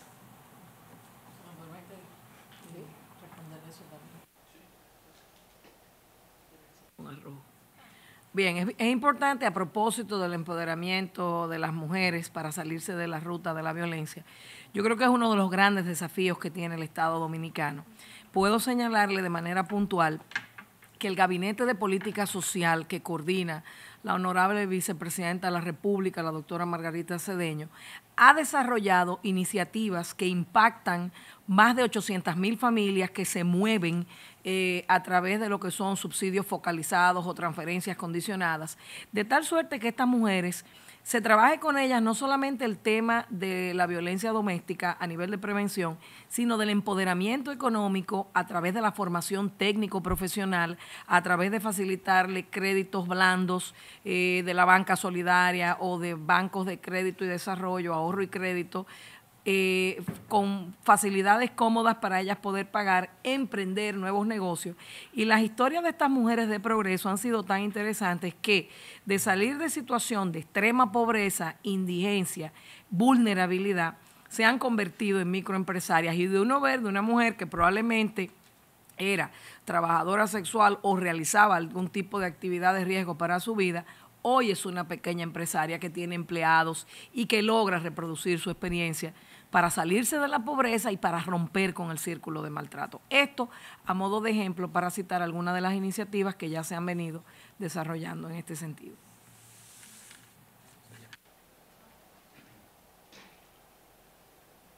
Días con todas, con todos. Aprovecho a saludar. Soy Ana Huezmes y muchas gracias. Me, me honra mucho estar en este panel porque creo que, que mostrar avances y ejemplos concretos que están pasando en países y en ciudades es eh, siempre muy alentador. Sabemos que hay un cambio importante, o sea, las leyes tienen apenas 20, 30 años en nuestra región. Tenemos una convención marco, que es la Convención de Belén do Pará en la región, que ahora tiene una hermana en Europa, que es el convenio de Estambul, y realmente es impresionante ver los progresos, pero a la vez compartir la insatisfacción de todo lo que nos falta por hacer para prevenir y eliminar la violencia. Yo quería hacer un comentario respecto a la pregunta.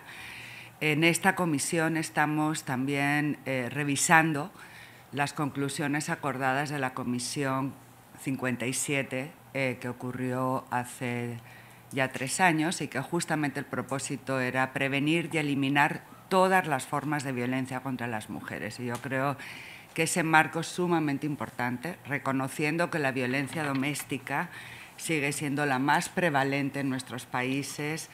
Efectivamente creemos que es sumamente importante hacer un posicionamiento contra todas las formas de violencia contra las mujeres, la que ocurre en el mundo laboral. Estamos ahora, Nueva York es parte de este programa, México, con, como señalaba la señora Luisa Carballo, el acoso y el hostigamiento sexual en el espacio público es como que uno destapa eh, algo que nadie quiere ver, que nadie quiere tal, porque no se denuncia, pero ocurre todos los días en nuestros espacios. Entonces, en esta CSW, en esta comisión, se definieron cuatro líneas de trabajo.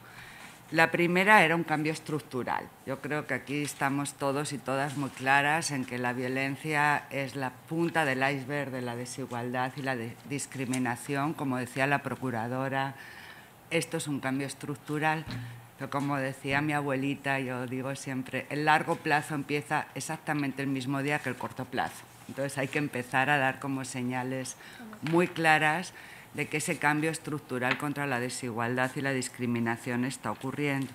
Lo segundo es prevención y yo creo que, después de, años trabajando en servicios, todas y todos estamos también muy claros en el tema de prevención. En el caso de ONU Mujeres estamos trabajando en dos campañas. Una es He4C, que justamente busca que los hombres sean aliados y campeones de este cambio, nosotros por ellas. No podemos acabar con estos ciclos de violencia intergeneracional muchas veces si realmente no trabajamos con los hombres. Y la otra es la campaña del secretario general Únete, donde cada 25 de mes estamos pintando el mundo de naranja como una forma de decir que creemos que a la violencia se le puede poner fecha de caducidad. Y esa fecha es el 2030, así lo han acordado los países el año pasado, y eso no pasa por leyes, pero pasa por una alianza enorme con sociedad civil, etc. Pero además, en materia de prevención, y esto es algo que se ha discutido mucho en México y en Mesoamérica, eh, el, tema del acceso a la justicia es fundamental. O sea, prevención no solamente es campañas de comunicación o educación, significa cero impunidad. No hay mejor prevención secundaria que dar un mensaje enorme de cero impunidad. Y en la región tenemos todavía cifras de impunidad de cerca del 97%, 95% en torno a los feminicidios. Entonces esto es algo que nos preocupa. La tercera línea eran los servicios multisectoriales, centros de justicia en Nueva York o en República Dominicana. Ahora se está desarrollando una lógica que yo le llamo centro de justicia plus o, reforzado, digamos, ¿no? que es, además de tener una respuesta inmediata y urgente a la violencia contra las mujeres, tienen empoderamiento económico. El empoderamiento económico y la autonomía económica es una llave fundamental para salir y tal. Entonces me gustó mucho también la experiencia que se presentó aquí de cómo realmente el tener recursos propios, en otros casos, por ejemplo, como en El Salvador, están con los centros Ciudad Mujer, donde además le están añadiendo todo un paquete de servicios de salud. Entonces, la idea eh, que de alguna manera eh, responda a tu pregunta de cómo no hacerlo como tan obvio que sea un sitio donde las mujeres van a buscar respuesta a la violencia, sino que puedes tener como varios servicios integrados. La cuarta línea, y ese es un problema que hemos estado discutiendo también en esta comisión, son las estadísticas. Y yo ahí también quisiera después un comentario tanto de la, eh, de la, magistra, de la Fiscalía como de, de, la, de la comisionada, porque efectivamente hemos mejorado en encuestas, pero nuestros registros administrativos siguen siendo de muy mala calidad y porque muchas veces además la mujer entra por salud o entra por educación y el registro de salud no hace diálogo con el registro del Ministerio Público, etc. ¿no? Entonces, mejorar los datos estadísticos, los registros administrativos sobre todo, es fundamental. ¿Por qué? Porque nuestras, nosotros sabemos, por ejemplo, por la estadística que tienen unas mujeres, que la violación se denuncia menos que un robo común, por ejemplo. Entonces, no podemos tener la política pública basada solo en las estadísticas de seguridad, pero a la vez necesitamos fomentar la cultura de denuncia y el registro y tal. Entonces, el registro y el diálogo con las políticas de seguridad en nuestros países es fundamental. ¿no? Entonces, yo diría que en conclusión, la propuesta de ONU Mujeres es prevención, alto a la impunidad y este es responsabilidad de todos y todas, ¿no? Y hay que hacer muchos más esfuerzos para que esta fecha de caducidad que ya le hemos puesto a la violencia contra las mujeres y las niñas eh, realmente se cumpla, ¿no?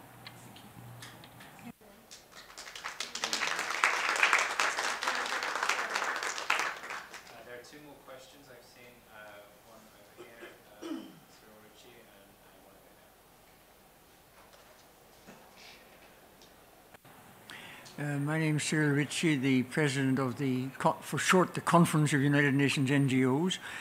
Um, in her first statement, um, Louisa made a remark which I wrote down exactly. Patriarchal society is lingering longer than we expected.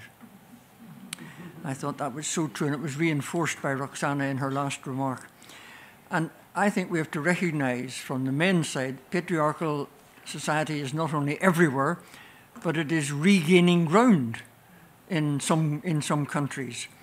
And it's the context for many different types of violence, for child marriages, uh, for maintaining obstacles to access to justice or to inheritance or to property for, for, for women, uh, and even for things like street harassment is another illustration of the patriarchal attitude that is so difficult to eradicate. So it seems to me we need uh, a lot more men to speak up on this issue because there's a, the, the very nature of the patriarchal attitude means that mo we're more likely to be heard by those who demonstrate this. So this needs a partnership of a new type and uh, outspokenness because it is uphill work and it's very long term, unfortunately.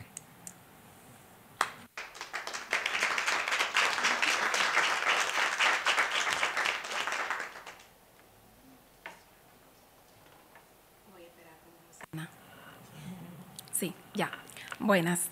Uh, mi nombre es Noemí Reyes, uh, nombre artístico Ambar Luna. Para Rosana Reyes, que es mi prima, ya no lo sabe, pero es mi prima, este, la quiero felicitar por su empeño que están poniendo en República Dominicana. Para Berta Santana también. Uh, yo soy de Cotuí. En Cotuí acabamos de empezar un programa que lo empecé sola, un programa que lo tengo aquí también para niñas entendiendo que las niñas tienen que ser educadas y enseñarle sobre su autoestima, sobre su valor propio, y eso tiene que hacerse responsablemente nosotras, las madres, las hermanas, las tías, lo tenemos que hacer desde la casa, empoderar a las niñas y enseñarles sobre el merecer. Cuando una niña sabe lo que se merece, tiene su autoestima alta y está consciente de sí misma y empoderada con sí misma, es muy difícil que no reconozca cuando alguien le está por maltratar. Entonces, la, academia se llama Nile Modeling Center, pero está diseñada para empoderar a las niñas. Más que todo, usamos el modelaje como una plataforma, porque toda niña quiere ser modelo, quiere ser bella. Yo también aquí estoy modelando algo de, de, Berta.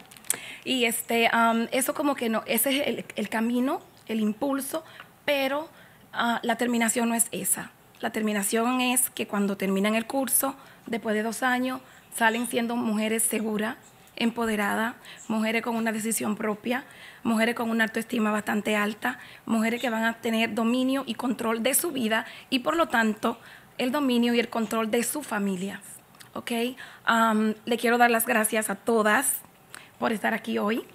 Y por permitirme compartir con todas ustedes. Muchísimas gracias. Seguimos para adelante. Eh, Rosana habla morita. Berta también. Muchísimas gracias. Thank you. So we're, running out of time, but I'm going to take one more, one more question from the gentleman over there, and then I will have to close the event. Gracias. Ah, hace años que yo he decidido no venir a estos tipos de conversación, convencido de que necesitamos acción. Sin embargo, ha sido una agradable sorpresa eh, ver los trabajos que realmente se están realizando a nivel global, a nivel regional, a nivel del país y a nivel acá.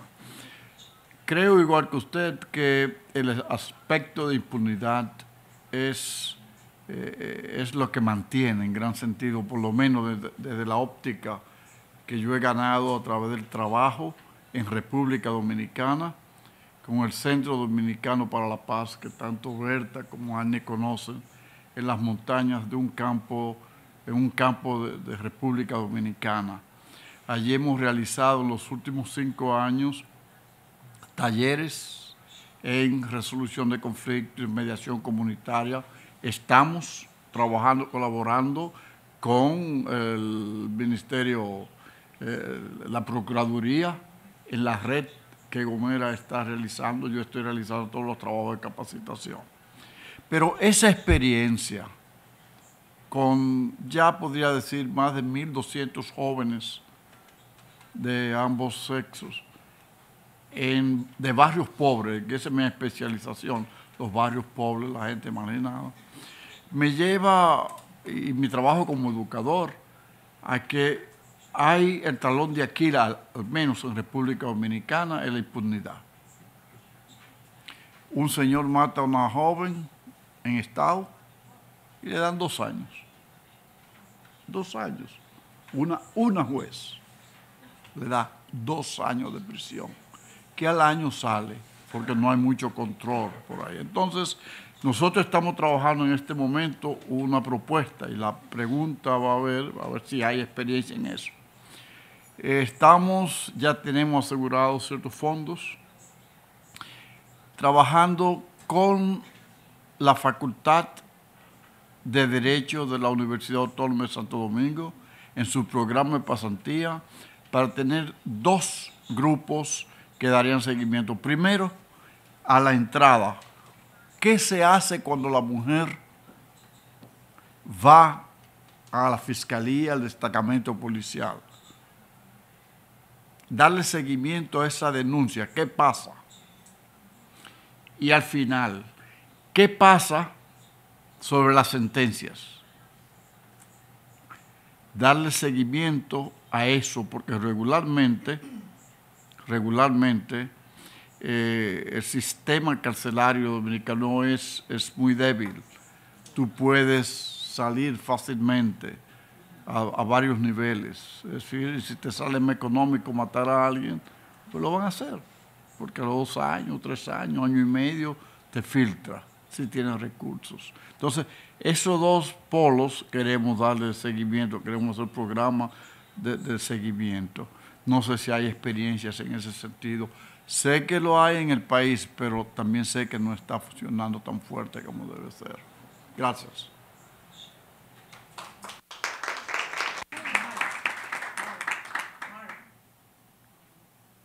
Bueno, para responderle aquí al señor, ese caso que usted menciona de dos años, muy lamentable eh, que el Poder Judicial condenara a esa persona, nosotros apelamos y él está condenado a 20 años. Está condenado a 20 años. Es decir, se revocó esa sentencia y está, condenado a 20 años. Por lo que usted dice, porque no puede prevalecer la cultura de impunidad. La impunidad, eh, si un hijo suyo rompe algo, usted no lo sanciona, el otro lo va a hacer y le da permiso a la gente para las conductas inapropiadas. Y en sentido general, yo creo que es importante y es uno, un gran desafío que la sociedad civil nuestra tiene, de empoderarse cada vez más para realmente convertirse en un poder ciudadano que fiscalice la actuación de eh, los funcionarios y los actores gubernamentales y pueda reclamar y haya consecuencias ante las inconductas. O sea que en eso estamos ahora mismo.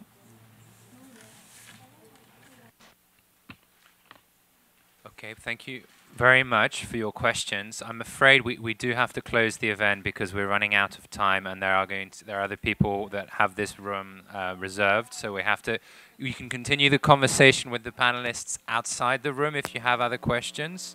Uh, I just wanted to thank you all for coming. Wanted to thank you, uh, thank our panelists in particular for their presentations. Uh, I know there was a lot of information, and for that reason, we're going to be uploading the presentations with our press release. So if you check our website on the main page of our press release, uh, will be uploaded later today. You could then access the presentations as well. Uh, if you have any further questions, feel free to email us as well. Uh, our foundation's website has our, our contact details. Uh, and if you'd like to be involved in further events, please sign up to our mailing list. If you've not signed the registration form, please do so. That way you'll be put on the mailing list. Thanks very much for coming today. Uh, please continue to monitor this conference and have a great day. Thank you. Bye-bye.